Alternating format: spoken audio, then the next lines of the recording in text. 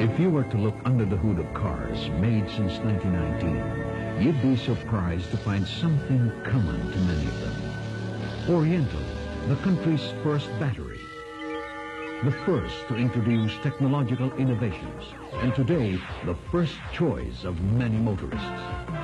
If Oriental can last that long, it must be really good.